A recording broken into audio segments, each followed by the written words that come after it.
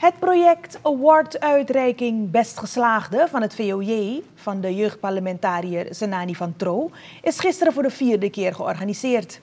Van Tro vindt het belangrijk dat VOJ-leerlingen een schouderklopje krijgen wanneer ze zich voorbereiden op een hoger niveau, namelijk het VOS.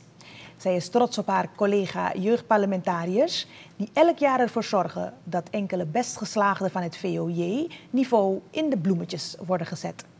En ik mag zeggen, het doet me goed wanneer ik zie dat eigenlijk jongeren snappen dat ze nu een tree hoger gaan, een, een nog hogere verantwoordelijkheid. En dan vind ik het belangrijk dat wij van het jeugdparlement jullie ook daarbij assisteren.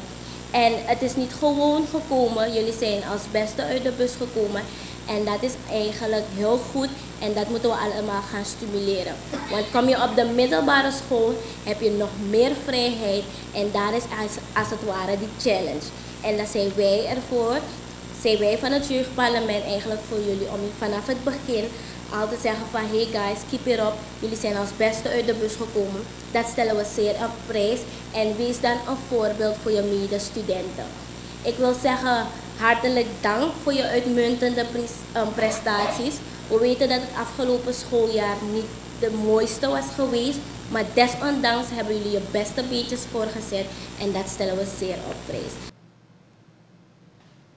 De voorzitter van het Nationaal Jeugdparlement, Kelvin Koniki, complimenteerde Van Tro met dit initiatief. Aan de bestgeslaagde zei hij dat ze er alles aan moeten doen om verder te studeren. Volgens onderwijsminister Robert Peneu moeten de studenten zichzelf afvragen wat op de eerste plaats belangrijk is in hun leven. Wanneer je wordt geboren moet je gevormd worden en vorming krijg je binnen de school, zegt de bewindsman. Het eerste wat je wordt aangeleerd zijn waarden en normen binnen een maatschappij. En uiteindelijk, studie is belangrijk om in een maatschappij te bewegen. Jij als jongere studeert niet voor mij, je studeert niet voor je moeder, je studeert niet voor de president, je studeert niet voor een parlementariër, je studeert op de eerste plaats voor jezelf. Waarom? Omdat uiteindelijk die verantwoordelijkheid bij jezelf zit. Een leraar die vormt je in een klas, maar de kennis die je eigen maakt is de wil die je zelf hebt om die kennis aan te leren. Laat mij je dat alvast als eerste leren.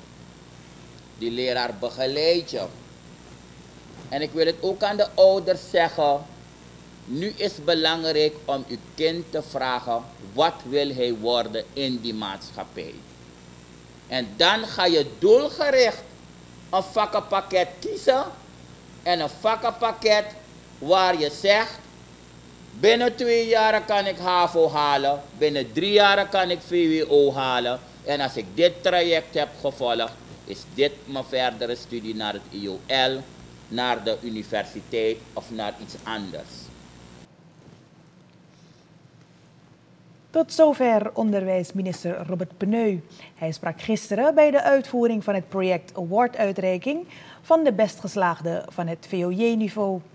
De uitreiking vond plaats in de vergaderzaal van het ministerie van Buitenlandse Zaken.